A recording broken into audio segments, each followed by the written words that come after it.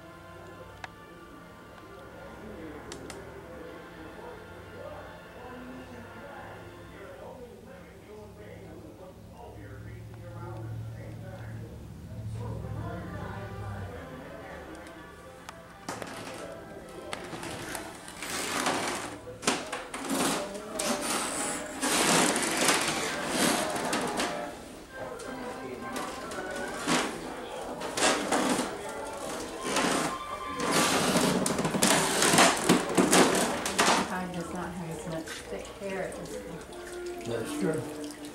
At one time, the American buffalo was widespread in North American plains, from Alaska to northern Mexico. These huge animals wandered the plains in large herds, numbering in thousands. So the plains Indians took racing to a way of life, a lifeblood of their culture. The buffalo provided the tribes with food, clothing, and shelter, influence the way you live and what they believe.